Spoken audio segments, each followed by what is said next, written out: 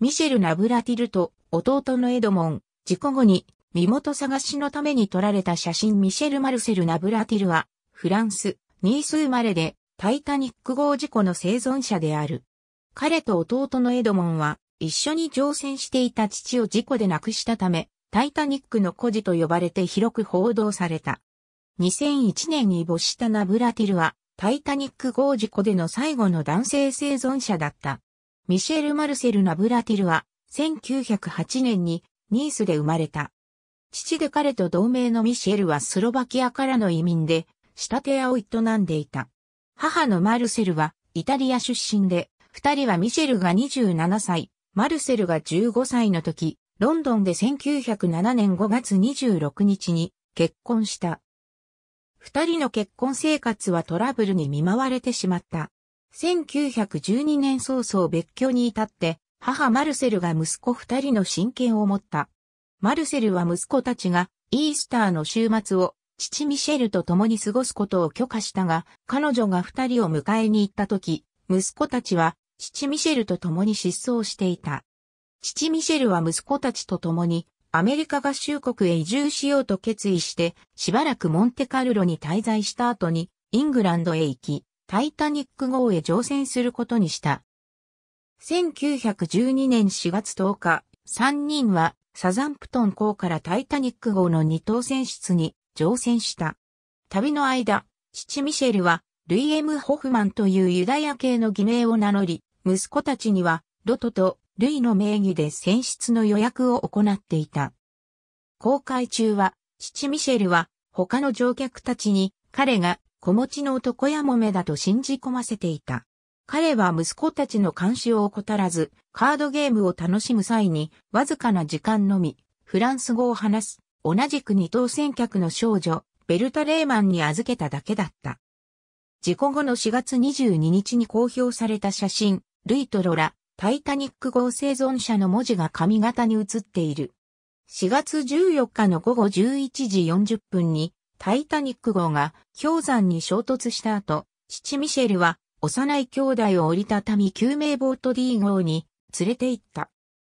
ナブラティルは当時4歳にもなっていなかったが、後に父が最後に残した言葉の記憶を語っている。我が子よ、お前たちの母さんがきっと迎えに来るから、私は母さんを今でも愛していると伝えてくれ。母さんが私たちの後を追ってきて、一緒に自由な新しい世界で幸せに暮らせるだろうと思っていたと伝えてくれ。父ミシェルはこの事故で死亡し、遺体は後にマッケーベネット号によって収容されて、身元が確認された。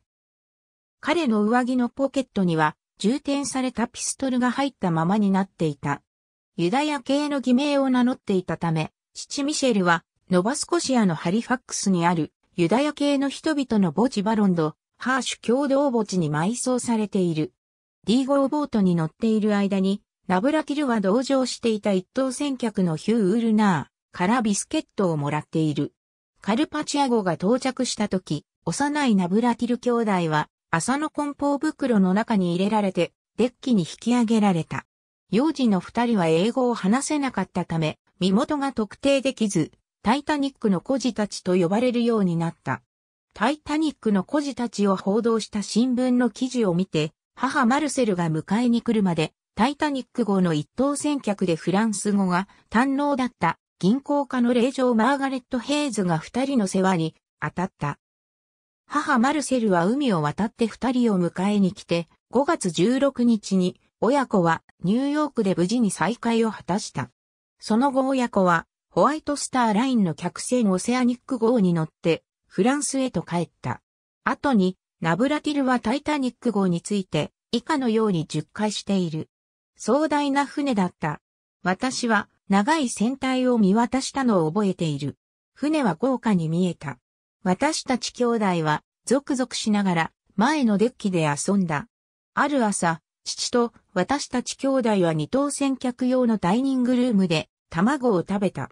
海は衝撃的だった。私は幸福の感覚のただ中にいた。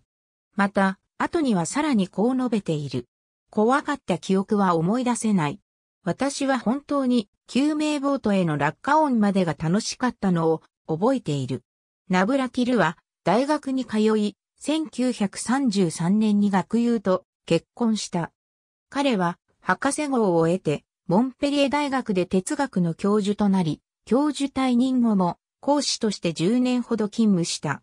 ナブラティルは彼の人生を通して幼い年齢で父の死に直面したことに基づく経験が自らの思考過程に強い影響を与えたと主張している。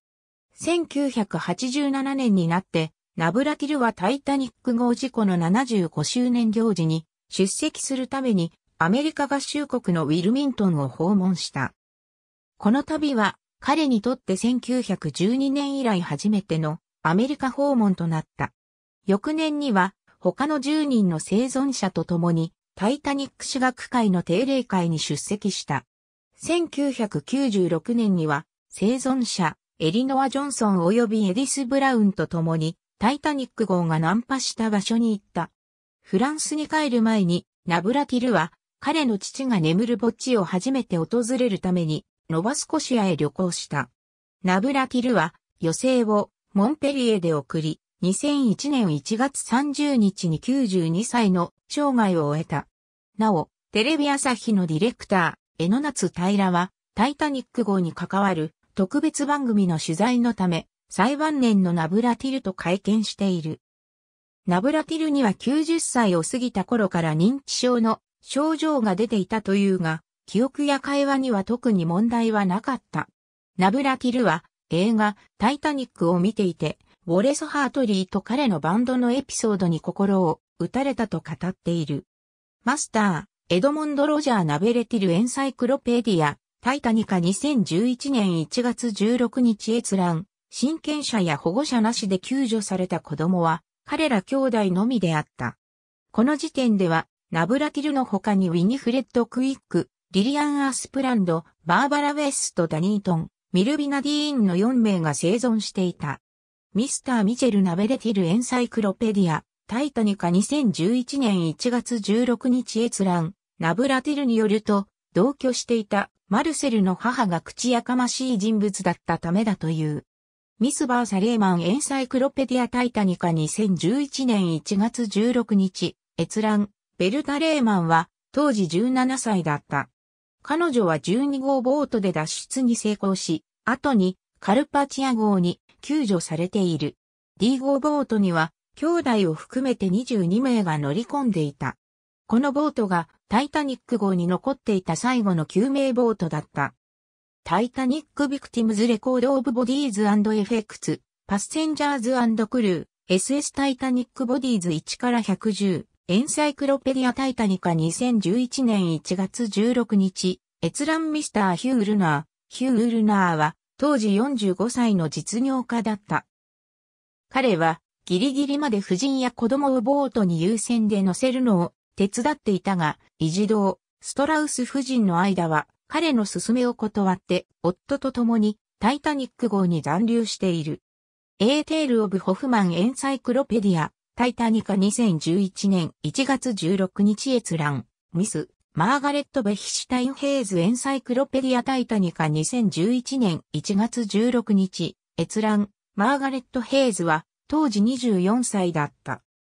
彼女は学校で友人だった女性二人と一緒に旅行していてこの事故に遭遇した。ヘイズはその時、飼っていたポメラニアンを助けて、その犬と一緒に救命ボート7号に乗り込んだという。